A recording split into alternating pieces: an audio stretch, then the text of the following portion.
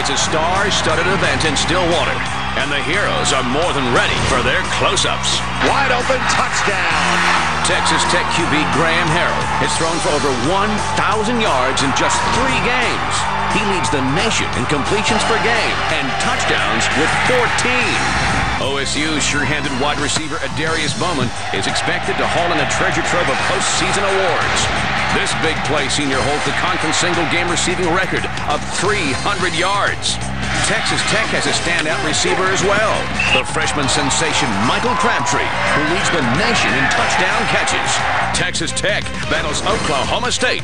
The season premiere of the Big 12 Conference Battles are next on FSN.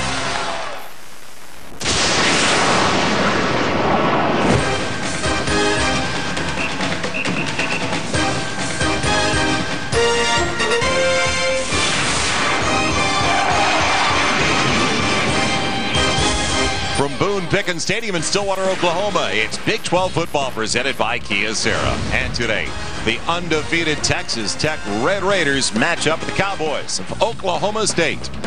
On display today, two of the most talented receivers in the entire nation, the true freshman Michael Crabtree and senior Adarius Bowman.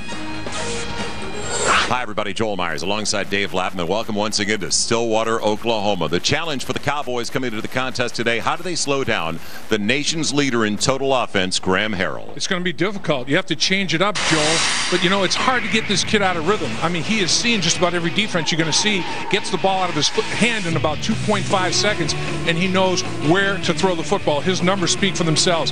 He's got 75% completion percentage on the season. It's unbelievable. But Zac Robinson, this is only his second start. Here's the kid, though, that's a great athlete at the quarterback position. He can beat you with his throwing arm as well as his feet. He's a two-way go guy, but don't try to do too much. Three turnovers last week against Troy. Can't do that today. It'll be a hot one in Stillwater. Stay with us. We'll be right back for the conference opener, Oklahoma State and Texas Tech.